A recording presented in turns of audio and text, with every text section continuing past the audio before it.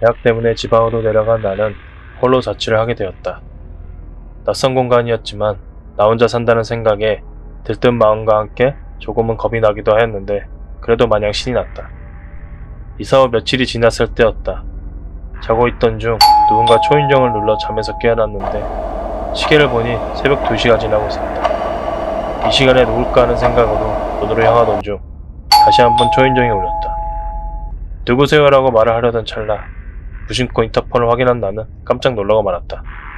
빨간 옷을 입은 여성이 시카를 들고 문 앞에서 서 있었기 때문이다. 여기서 소리를 내었다간 안 될 것 같아 잠잡고 인터폰을 보며 여성이 가기만을 바랄 뿐이었다. 하지만 그녀는 요지부동 그 자리에서 서서 연거푸 초인종을 눌러댔고 나는 초인종 소리가 날 때마다 온몸에 소름이 돋았다. 그렇게 얼마의 시간이 지났을까?